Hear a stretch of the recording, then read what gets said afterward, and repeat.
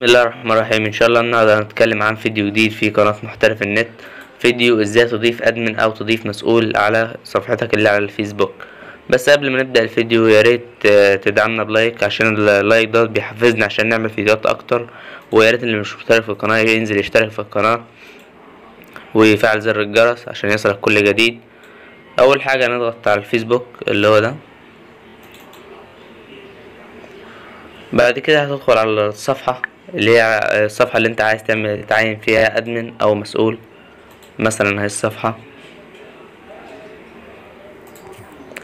أول ما تدخل في الصفحة اهو ده شكل الصفحة.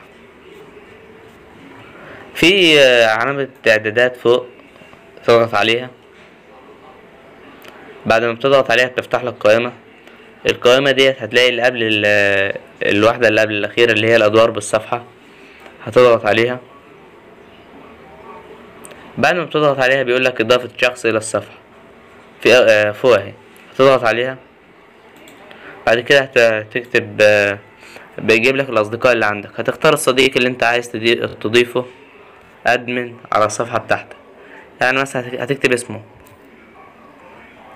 مثلا.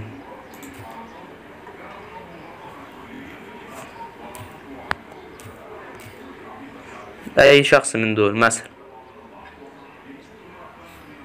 هنختار ده. بعد كده بعد ما بنختار الشخص اللي أنا هخليه ادمن أو مسؤول أو هختار أخليه إيه في ال في الصفحة بتاعتي هنكتب كلمة السر. أهو بعد ما كتبت كلمة السر هضغط متابعة. بعد ما أضغط متابعة بيقول لي أنت عايز تخليه إيه؟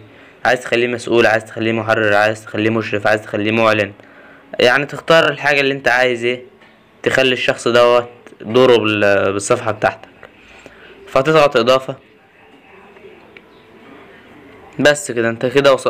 كده وصلت له رسالة إنك أنت بقى إنك أنت عايزه يكون مسؤول عندك أو محرر أو الدور اللي أنت عايزه يقوم بيه في الصفحة بتاعتك.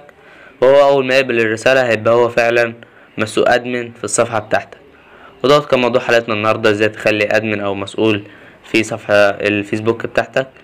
وكده يبقى خلصنا الفيديو ويا ريت اللي مش مشترك في القناة يشترك في القناة ويضغط لايك ويفعل زر الجرس ليصلك كل جديد. والسلام عليكم ورحمة الله وبركاته.